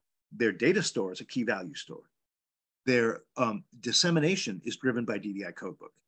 They are now exploring the use of DDI CDI because they're also looking at doing a lot of cross-domain data integration and bringing on board a lot of data from things like Copernicus uh, environmental data, like temperature readings, and energy usage statistics that are, are fed off of sensors and so on. So uh, to accommodate new data, they're looking at CDI. For their own data, per, data documentation and, and sort of production purposes, they use Lifecycle. For their dissemination to end users, they use Codebook. But the, behind it all is a, is a big is a big data store that's essentially a key value um, uh, data store. So that is a combination you see and can be very powerful because it's very scalable. And you probably know that about key data stores if you're using one. Um, but the microdata is held with key data. So that's, um, okay. I think um, if there are no more questions here, hang on, I've got to then I'm going to turn over to you, Adrian, to show people. I, I think you can show people maybe Nesstar or some editing interface, and then some of the of the processing stuff. Um, so um, take it away. I will stop sharing and you can you can um, begin. Okay. Adrian. Okay, thank you. Thank you so much. So um, my name is Adrian Dusa. I am teaching at the University of Bucharest in social statistics. I'm also the director of the Romanian Data Archive and um, uh, the national coordinator of the European Social Survey. So I have different hats, but in all of them, I've been collaborating with the DDI community for, yeah, almost 20 years now. Now, the purpose of this last part is to make a live demonstration of how to use free and open source tools to populate the DDI codebook. You've seen in Arofan's presentation about commercial tools. I am more inclined to using open source tools. And that's what I've been doing for the past uh, 10 years or so, uh, develop tools like that. Now, as mentioned, the, the code book contains five sections. You can look at them here out of which the most labor intensive is the variable description, which is in the data description file uh, uh, section over here. And you can notice there are almost 70,000 lines of code there. Um, and that's a lot of work if you want to do it manually, but fortunately it can be done um, in a machine actionable way. Um, uh, there used to be a single main software like two decades ago to facilitate this process called Nesstar. Uh, its development was discontinued for some good years, but it is still downloadable. And I will uh, show it. Uh, I will show you how, how to use it later on. I mean, here you can see. I've, I've only found uh, uh a downloadable link at the International Household uh, Social Network or something like that. Um, but fortunately, uh, there are other tools that have been created to automatically extract metadata from uh, variable labels, value labels, uh, information about missing values, as, as you've seen so far. Um, and since this audience is fluid in SAS and keen to learn about our tools, uh, I'm going to focus my presentation on R-based tools and show they can interoperate with SAS. In, in fact, I've been doing a, a, a, two weeks um, marathon before this uh, webinar to improve on the current versions of the of this R package that I'm going to show you today uh, and to facilitate more SAS interoperation. Okay, uh, but before going into specific commands using this uh, package, I will first show because I I, I I'm a developer. I'm used um, and and create tools for users. I want to make them as easy as possible. But I'm also aware that not all users are programmers. So in fact, um, first, I will show you a graphical user interface that uses this uh, R package. It's using, it, it, it has R embedded within. And that is called Stat Converter. That is an open source and cross-platform alternative to, to, commercial solutions. And most notably, maybe you heard about Stat Transfer, and I will, I will show it to you later today. Um, that converts data set from one statistical package to another and it's based on DDI, and, and, as you can see, it can read and write I, uh, uh, SPSS, uh, Stata SAS, or um, even Excel. Uh, and on top of everything, it, it also fluid on producing DDI codebook and reading DDI code files. Now, based on my very recent experience, I'm an R user, and have almost zero experience with SAS, but I, I in, in order to make this presentation, I I tried to learn a little bit of SAS in order to produce these tools. Um, out of all statistical software here, SAS, I think, is the closest one to the spirit of the DDI lifecycle the, in the principle of reusability. And that is because unlike these other softwares like SPSS, RS data, all of which keep the metadata in the same file with the dataset. SAS keeps its metadata in a separate file called a catalog. And I think that kind of makes sense because very often a lot of variables have exactly the same response options. And especially in social statistics, I'm thinking about one to five Likert type response scale for, for multiple items. Um, and uh, reusing those, it, it, it, makes sense. And as you can see here, I'm going to use a test data set. You, can see there is a separate file for the data, SAS7bdat, and for the catalog, SAS7bcat. Um, and um, uh, you can download, install on your computer, either on Windows or Mac OS. And I'm going to open it here just to make a demonstration. I'm hoping I'm, I'm not going to break anything, right? So I'm going to use SAS as the input type and uh, go to this. Notice, please, that there is no special place for selecting a data catalog file. Um, and uh, by default, StatConvert and the DDI um, with our package expects that catalog to be in the same folder and using the same file name as the data file. But in the command line uh, in R, it is possible to specify a certain path to a, a to a file. But for, for this purpose, for the StatConvert, it, it is sufficient to have it in the same folder, right? And now you can look at the variables. It's very similar to stat transfer, actually. Um, and for instance, um, um, uh, let's let's look at some of the labels here, um, like countries. Countries over here, you can see the uh, key value pairs and the net the internet use. You can see um, we have some uh, missing codes. There are uh, here uh, 93, 94 also, but these are not typical SAS uh, extended missing values. In SAS, the, the, missing values are presented by a dot or for system missing or dot A, dot B, and so on and so forth. Um, here, they were automatically recoded to this kind of values because in the settings, we have an option here to, uh, that is activated by default to recode to and from extended missing values over here. Uh, but these are not actually the typical, the, the original missing values from, from the uh, ESS dataset. I mean, ESS is European Social Survey dataset, and I'm, I'm using the Spanish uh, dataset for Wave 9. Um, and in order to show the original files, I'm going to uh, select SPSS and browse to the SPSS version over here.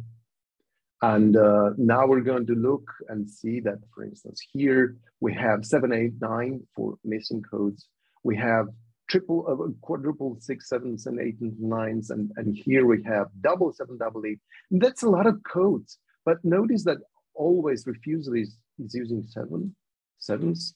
And uh, here it's also seven, even though it has double uh, uh, four, seven, so on. All right. Um, and in order to demonstrate how to produce uh, the DDI codebook file, I'm going to select here DDI codebook. By default, it's going to produce it in the same directory as the original uh, file, but you can save it under a different name and in a different folder. And there are some specific DDI XML uh, options over here, one of which is to embed the CSV dataset in, into the DDI codebook file. Now, as you've seen in the Arofan presentation, DDI codebook was not originally about the data file. It's only about the metadata. But this is an improvement over the codebook, and the resulting file is fully uh, compatible with the, with the XML schema of the DDI codebook. And now I'm going to click convert. It's going to take a while, and you will notice here that another, another XML file will appear after this process will, um, will have um, finished. Uh, it's quite a um, large data set, close to 1,700 observations and, and about, about 600 variables, something like that. Now, here it is. And uh, let's look at it. Okay. And this is the XML produced by the uh, by Stat Convert. I mean, you can see the document description, study description. It has minimal input and you can either uh, add your own information with other uh, DDI instances and information, or use a dedicated XML editor to fill in the rest of the information. You can see here, for instance, in the file description, there's a note section that is harmless for the overall consistency of the XML file, where I've saved the CSV uh, version of the of the data it. One other, I think, piece of information, and Arofan mentioned ASCII uh, in uh, uh, dealing with uh, uh, data sets. Um, I would say that is not only ASCII, it's, it's, about, it's all about the, um, for instance, the encoding of the data file, because sometimes the data sets contain not only uh, English letters, but also diacritics and so all sorts of other characters that are not presentable with ASCII, but with UTF-8 in, in my case. All right. So the next but, but so this was this was the most, most labor intensive. It does, as you can see, it does summary statistics. It it says uh, uh, the uh, uh the values. This is a categorical uh, character variable for the countries, and let's look at some other um, uh, variables. Like over here, we have the internet use, and we have the values and the labels and we, we also have the uh, values that are represented as a missing value. And we also have the frequency and uh, of course some other summary statistics um, that are present in the, in the file. For, um, let's say here, yes, for numerical variables, as you can see, you have minimum, maximum, mean, median, standard deviation, and other uh, useful information that uh, uh, are populating the DDI codebook file. Um, the next part is to supplement the information uh, that is uh, produced by this software with a another tool, for instance, uh, Nesstar, since we mentioned it, right? And Nesstar, which looks like this, okay, I'm gonna open it. In fact, if the data set is in SPSS because uh, originally they were using SPSS in, in, in uh, Nesstar. It can import actually the study from the SPSS, like over here. Um, the part which is not okay, uh, it doesn't know SAS, of course, doesn't know Stata. But for SPSS, it kind of works, but it's also not very good because uh, here, let's look at a variable, a variable that I know it has some special diacritics over here. It's uh, party last voted for uh, in Spain. As you can see, the value 7, 8, and 9 are, are um, uh, corrupted over here. It doesn't know um, in, in encoding, text encoding. But otherwise, we can uh, use and import the XML file that we have just produced over here, right? And now we can see it over here in data sets and we can look at the variables and uh, okay, let me go briefly here. Okay, and the same variable here. Now you can see 789, because I'm using UTF-8, uh, it's properly encoded. And we have the special diacritics in the XML file as well. So that's a plus over, over Nesstar. But otherwise, um, you can look at the variable fields in the document description file, the study description, and fill in as your uh, template uh, for the DDI file um, might might look like. There are different templates for different organizations. Of course, not all of them have a need for all of the DDI um, information uh, buckets over there. But you can input information and save it, and you will at the end you will have a fully populated um, XML file containing, as you can see, both data and metadata and so on and so forth. So that would be a way to do uh, things or to have things done using graphical user interface.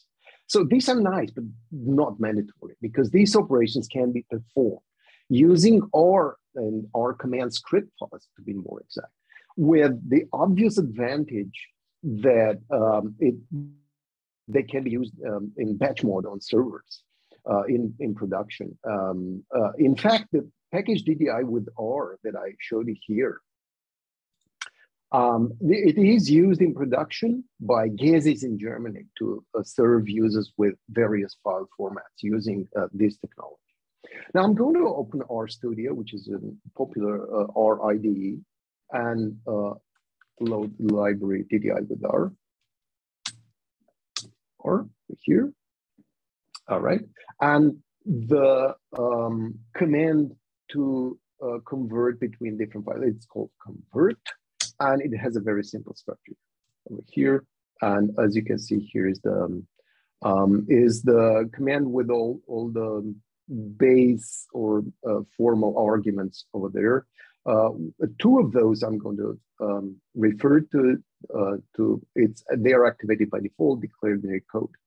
Like over here, they're um, um, specific to this one, recode, and make the R data set declared. And declared is another R package that I will uh, talk about a little bit. Um, it's being designed especially for R users that have a need for multiple defined missing values. But originally R has only one type of missing value, that is NA. Um, this package makes it possible to define and use multiple missing values the way uh, these um, variables have. For instance, here you have seven, eight, and nine.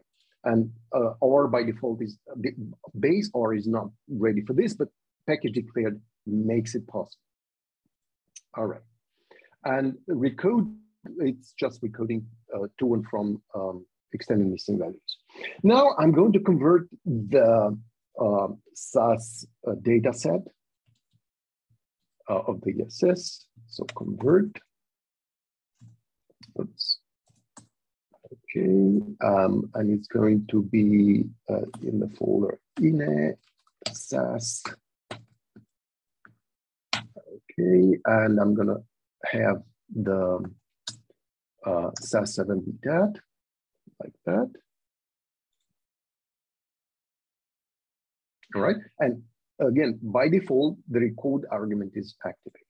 So let's look, for instance, at the labels of the ESS NetUsoft.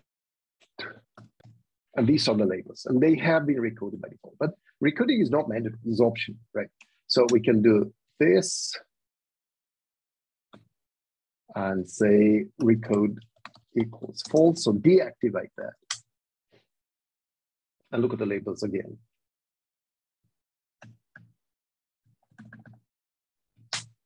And now you can see it has the original missing values, D, E, and F for refusal, don't know, and uh, not answer. So um, the SAS B7, 7B dot file, uh, it has extended missing codes inside. And, and, and this is the improvement that I made in the past two weeks to make it possible to extract the metadata from the catalog file and use the extended missing files from the SAS7B dot file. Now, uh, to read this, it's easy. To write extended missing file, it's complicated. In practice, um, uh, there is no R package that could uh, actually write a SAS7B dot file uh, properly. And uh, the package Haven, which is uh, DDI with R based on, upon, they actually um, um, stopped writing these kinds of files and, and instead um, write transport files in SAS. But the downside of that is that transport files does not have the concept of extended missing files, so we have to recode. But this is what this argument is for, to give you flexibility. Now, in order to demonstrate how this is done, the recoding, the authentic recoding, this is preparing for the DDI lifecycle, I'm going to use a test data set, an SPSS one, where you can see some uh, missing values over here, where everywhere um, the value of 93 it's used for, for a non-response, right? So 93 minus 93 is everywhere is, an, is a non-response, right? Over here. And um, let's take the step transfer, instance, and recode that, for instance, to Stata. Oops, over here. Okay, I'm going to use the Stata because I, I, I am able to write uh, uh, extended missing values in Stata, not in SAS, unfortunately. So I'm going to transfer it.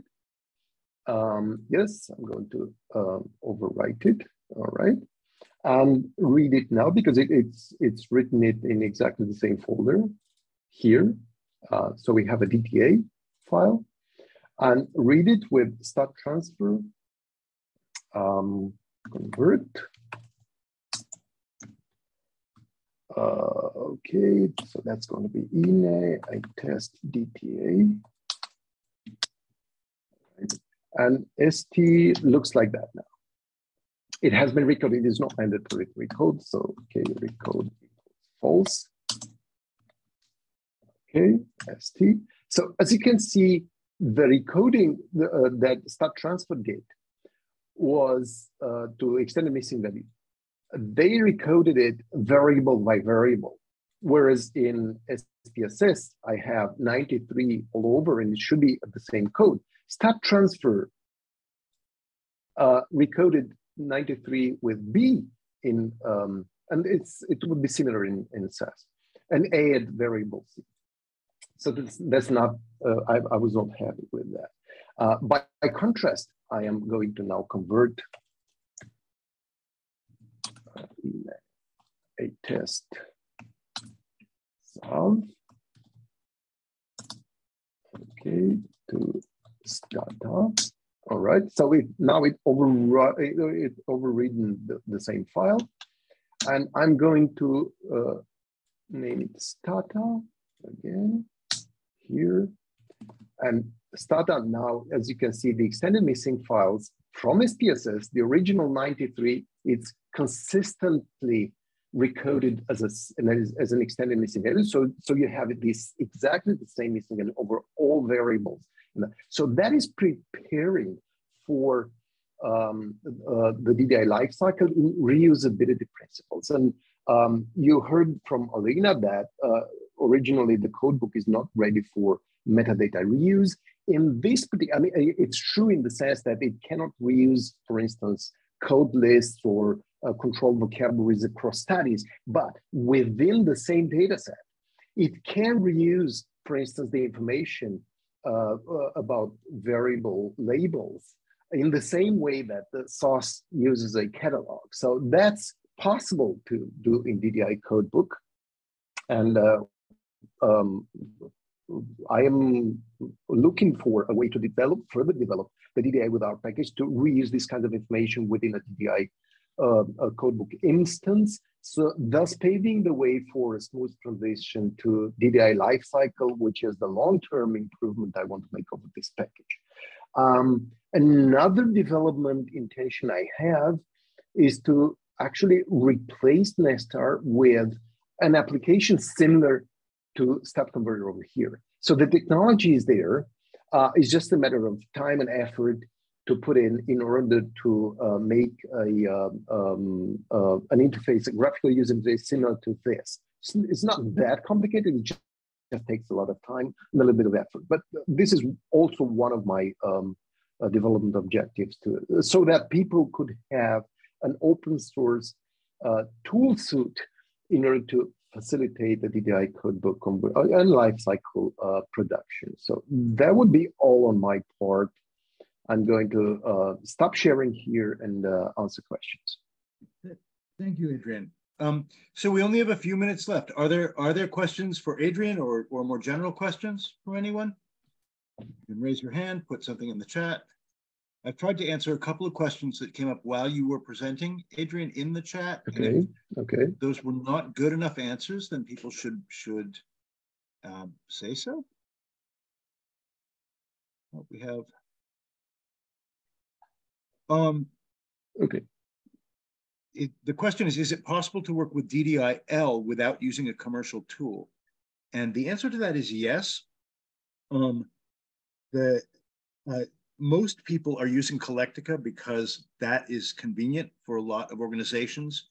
But INSEE, for instance, I, they may have, they, they developed their own software because of their internal requirements and what they were doing. And um, they would be a good, a good organization to talk to because they're not averse to using commercial tools, but they ended up building all of their own. Now, now they might be willing to share some of that if they have similar requirements. Um, people can certainly work with DDI lifecycle. There are libraries and a lot of, of informal uh, software out there that people can use. There is not, to my knowledge, a lot of, um, of open source, but there is some. Um, you saw the mention of Rich Data Services. I think they, they support some um, information, some functionality around DDI lifecycle that is open source, but they also, they also do additional uh, consulting work around that, I believe.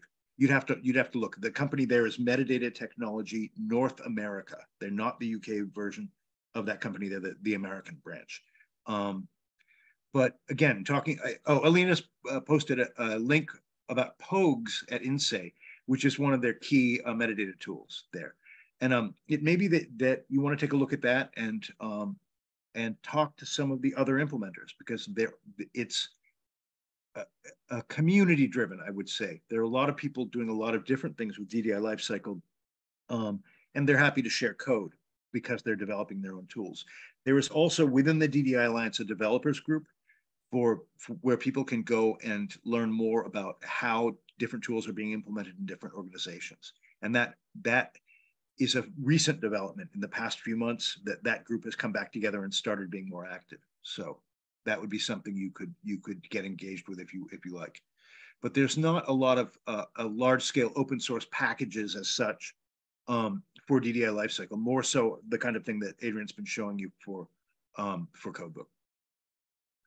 Is that a good answer to the question?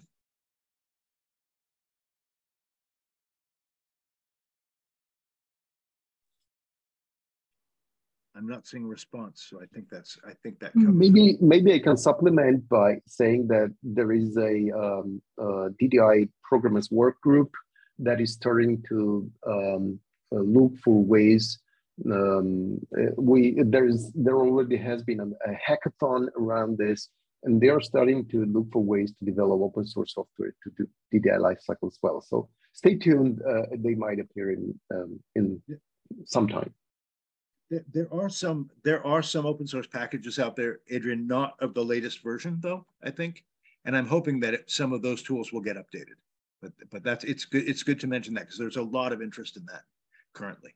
Um, I are there any other questions? I would ask you, David. You you you had requested that we that we do this. Um, did did you get what you needed from this from this session? And um, what are the next Uh, steps? Yeah, um, yeah, I, I'll, I'll tell you what, uh, what we are currently indeed doing. Um, we have already contacted with Statistic Denmark uh, to share their experience with DDI and the use of Colectica. That's uh, firstly, then uh, we have also collected with Colectica themselves. Um, we've we have uh, let them know um, our main um, our main goal with the use of DDI, just to to use it to um, create the metadata for our internal repository, our um, preliminary repository. And um, we are organizing some sessions just to get in contact with the tool. And um, uh, the experts that uh, we have now in this session have already made an, um, with uh, with their own tools. I mean, with with, their own efforts, uh, had made some preliminary efforts to write the metadata for one of these files in key value performs in the, in our repository using uh, the, um, the documentation from the DDI Alliance. So we are just getting some momentum um, about the use of DDI. Uh, we have to make some internal decisions um, about uh, the adoption of, of, the standard at the institutional level. Uh, for us, this session and this webinar has been um, perfectly suited to our needs. Uh, we now have to recap, we now have to exchange uh, views and see how we make this the next step. We will keep on, um, uh, we will keep on uh, contact with um, well, uh, Danish colleagues. Uh, now you suggest you suggest that uh, INSEE is also a very good point of reference. We will try to also to contact them. Um, and uh, we, we, we, we, need to, to, to see, I mean, we, we, we need now to organize with all this information. We would be very grateful if you could share the record of the um, the record of the of the of the session, um, and if possible, also the slides, and uh, we, we, we shall come back to you uh, to you then, uh, right? So um, I think that uh, clearly the DDI standard um, is very, very, very close to, to our needs. Um, it is clearly suitable for um, microdata documentation, as you have very clearly explained. And then uh, we, need, we need to plan and take decisions uh, regarding the steps ahead. Okay, David, I, I think that's great. As you make decisions, please, please keep, uh, keep us in the loop. Um, sure, sure. I can give you some contacts with with INSEE, uh, there's a, a, a member, uh, there's a guy in INSEE, uh, Krzysztof Jakowski, uh, I always get his name wrong. Um, he's he's in Paris and he is doing a lot of work with their with DDI. He would be a good contact, but there's also a guy who is just retired and now become a consultant, Franck Cotton, Uh, who's also still very active in the DDI world, and he might be somebody you could talk to to get uh, um, some information about um, about using DDI, and he he probably would have a good perspective. He is one of the the guys organizing that Cosmos conference I told you Okay. about. But uh, we'd be happy to introduce you to people like those or the people at at UKDA who are doing key value work. As you make those decisions and figure out what you're trying to do, um, maybe we can help introduce you to some of the people that that would be useful for you to talk Per- to. Perfect. We will, we will, um, uh, we will take due note um, of, of the conferences here in Europe. Uh, we will try to attend. Uh, I think that there will be an important input for us, uh, uh, um, um, an opportunity to share experiences with, with the experts already using the, the DDI standard. So uh, for sure, um, uh, we will keep you in the loop. We'll, uh, we, will keep in contact and thank you very, very much for, for this webinar. We are most grateful for this. Uh, if any of my colleagues want to make any uh, comment or, or any uh, suggestion, proposal, or, or, or question, please go ahead. We again thank you uh, uh, um, your efforts in, in introducing us to, to, to, the, to the DDI standard. Well, well, thanks for giving us your attention for two hours. I know it's a lot of information, and um, and good good luck with this. We're happy we're happy to help you out. That's that that's what we do. So, um, yeah, and so we'll we'll be in we'll be in touch, David. Very good. Thank you. Thank you. Thanks, everybody. Thank Bye. you. Thank you, Bye. Adam. Thank Thanks, you very much. Bye-bye.